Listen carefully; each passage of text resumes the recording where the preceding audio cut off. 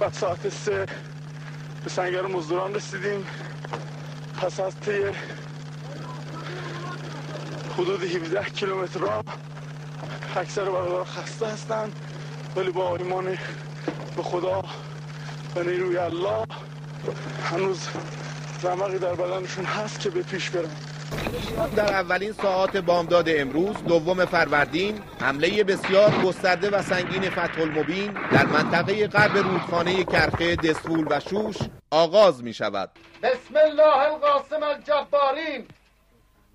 یا زهرا. الله اکبر الله اکبر الله اکبر.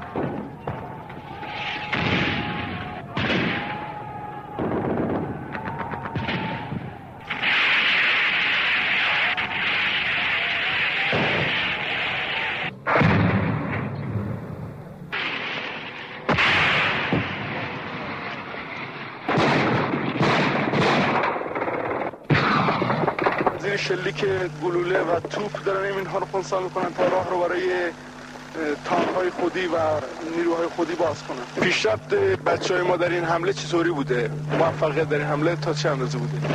تا حالش چه خوب بوده؟ تمام حال هنو در ادامه داره چه برن جلو باز در حین درگیری های شدید گردان حبیب ابن مظاهر گم می شود اما در اوج سردرگمی و آشفتگی فرماندهان ناگهان خود را در نقطه استراتژیک در روبروی دشمن می یابند و ضربات سنگینی به نظامیان عراقی وارد می کنند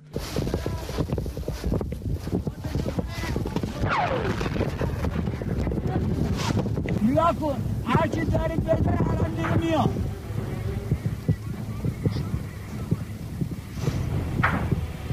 بابا نیروها دارم میاد شما از اون گوشه بچین و بیاید. این بسط رو از اون چیارا بگیرید. آنور محمدی از اون گوشه دارد میاد. آبوشی میاد.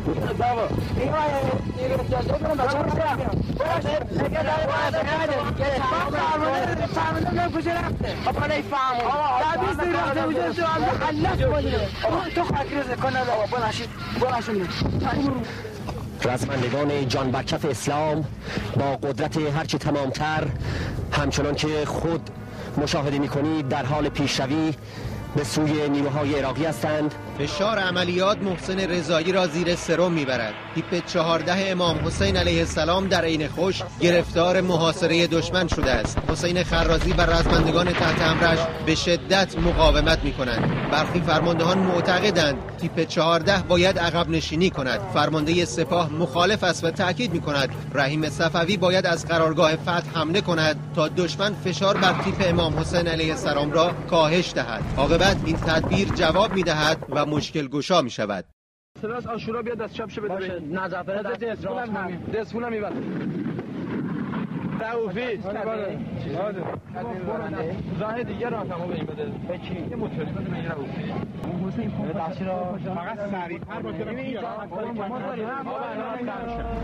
سپاه که با حدود 32 گردان در عملیات طریق القدس شرکت داشت در فتح المبین با 135 گردان در میدان نبرد حاضر می شود و اولین لشکر زرهی خود را شکل می دهد نه. چیزای تانک های خودمونه. تانک های پشتیبانی برادران گردان رزمی سپاه هستش که به یاری برادران میشه تابه. دیشب حدود ساعت 11 ما حمله شد و برادران بسیج و سپاه با ما کمال همکاری خیلی خیلی خوبی رو داشتن. و خوشبختانه مزدوران بحثی رو از پا در آوردیم و حدود 45 اسیر که دست من بود به منطقه قرارگاه تیپ دو الفجر. و اونجا بردم و تحویل برادران سپاه دادم و برگشتم. و این است که الان ملت شریف ایران می‌بینن که جنازه های بحثی چجور روی زمین به خاک و خون کشیده شده است.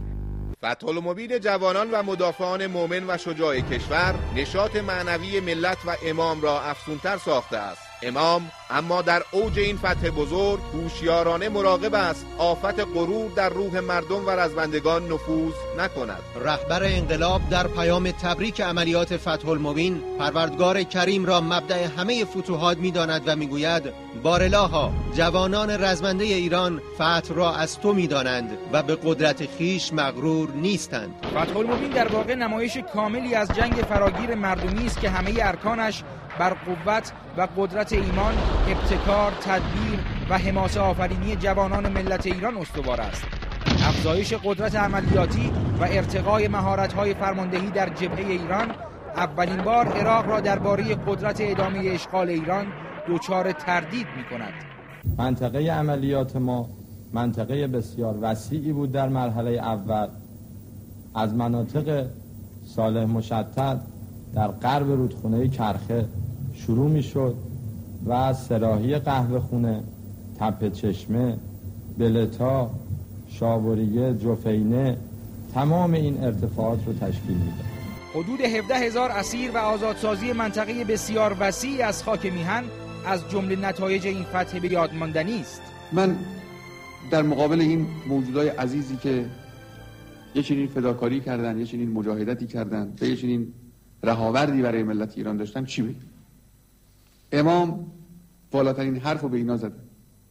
امام فرمودن که من دست و بازوی شما رو از دور میبوسم و به این بوسه افتخار می‌کنم. من فکر می‌کنم از این سخنی بالاتر و تمجیدی بزرگتر نیست.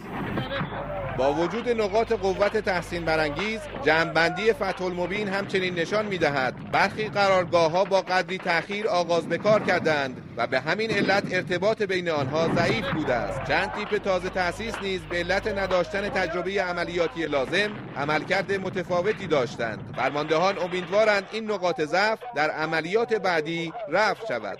اولین گروه مستشاران آمریکایی بلافاصله بعد از عملیات فتح المبین وارد عراق می شود و اطلاعات دقیق ماهواره ای را درباره آرایش نظامی ایران در اختیار اتاق جنگ صدام قرار می دهد. ریگان تاکید می کند این جنگ دیگر به نفع آمریکا نیست. امام قاطعانه پاسخ می دهد.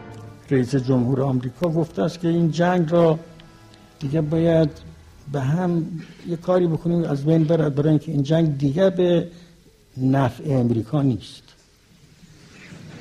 شما ببینید این چه اقراری است که یک نفر آدم رئیس جمهوری کشور ابرقدرت به اصطلاح همچه اقرار می‌کند که جنگ تا حالا به نفع امریکا بوده است برای اینکه جنگ برای به هم زدن این جمهوری اسلامی بوده است.